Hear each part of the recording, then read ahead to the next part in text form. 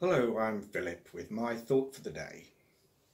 We've all been making sacrifices in order to save lives and help the NHS.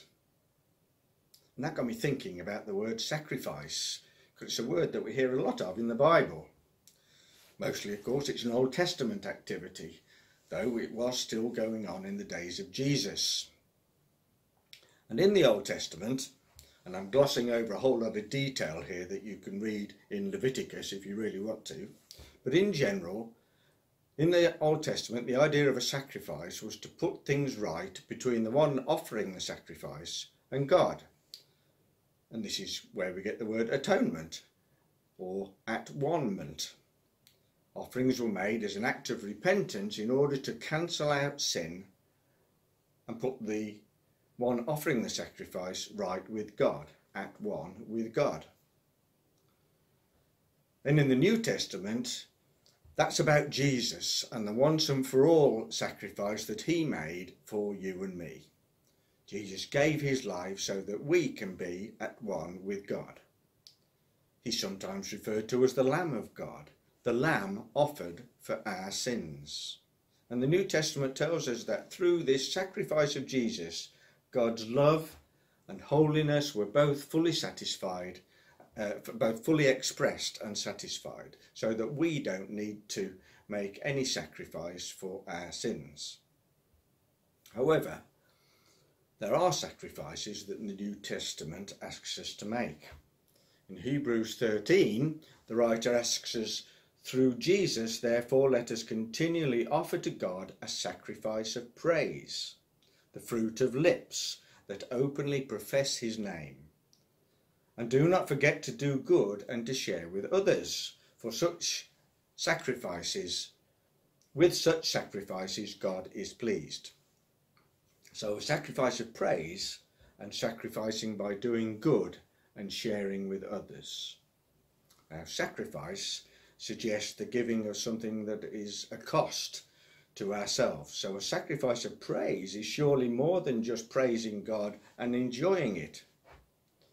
That's not to say that we shouldn't enjoy it, but if our praise is to be sacrificial, then maybe it should go beyond what we enjoy. Maybe we're called to worship even when we don't feel like it. Wonder if you've ever woken up on a Sunday morning and thought, you know what, I really don't feel like going to church today well, maybe that's exactly the time that you need to offer praise to God. Then in Romans chapter 12, St. Paul urges his readers to offer their bodies as a living sacrifice, a living sacrifice holy and pleasing to God. In other words, he asks us to give everything of ourselves and our lives to God and to go on giving our lives to God throughout our lives offering the whole of our lives for the whole of our lives. The Message Bible translates this request as take your everyday, ordinary life, your sleeping, eating, going to work, and walking around life, and place it before God as an offering. The idea of a living sacrifice, of course, is a contradiction in Old Testament terms because the whole point of an Old Testament sacrifice was that it was killed. Instead of killing an animal, we bring ourselves and the way we live our lives as an act of worship. And if we look further on in uh, chapter 12, Paul puts some detail on this and encourages us to contribute to contribute to the needs of others in a sacrifice of generosity. He even says we should be generous to our enemies. In verse 20, he says, If your enemy is hungry, feed him. If he is thirsty, give him something to drink. In doing this, we will heap burning coals on his head. That's a quote from Proverbs 25. And he continues, Do not be overcome by evil, but overcome evil with good an appropriate message perhaps as we watch with horror the events in America surrounding the death of George Floyd.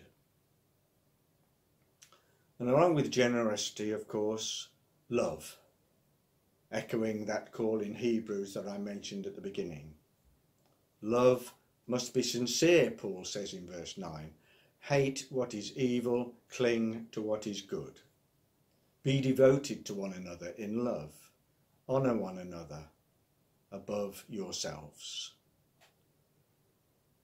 The sacrifices we are all making at the moment are made in love to protect others as well as ourselves. As the lockdown begins to ease, so let us find more ways to be generous with our love. We're also able to continue praising God at this time, even if we don't feel like it. Because God is doing wonderful things in the world and making the world a better place. Even as we are self-isolating and social distancing, God.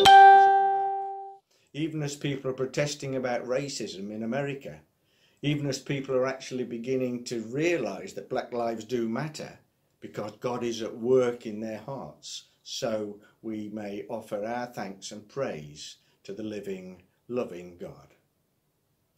I'd like to just finish by repeating those verses from Hebrews. Hebrews 13 verses 15 and 16. Through, Je- through Jesus, therefore, let us continually offer to God a sacrifice of praise, the fruit of lips that openly profess his name. And do not forget to do good and to share with others, for with such sacrifices God is pleased. Amen.